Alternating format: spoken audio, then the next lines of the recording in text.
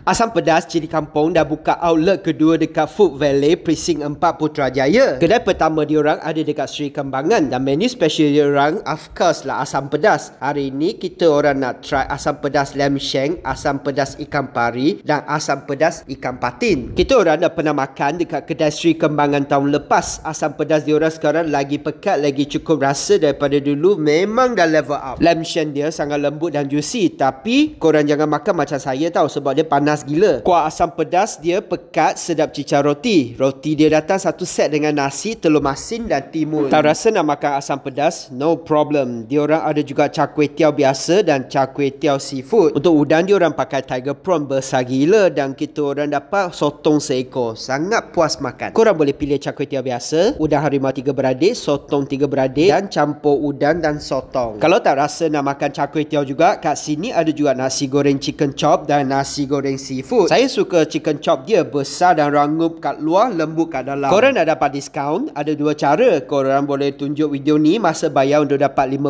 diskaun dan bawa bekas sendiri untuk dapat 10% diskaun. Asam pedas cili kampung ada loyalty card juga. Dapat 5 chop boleh dapat makanan free.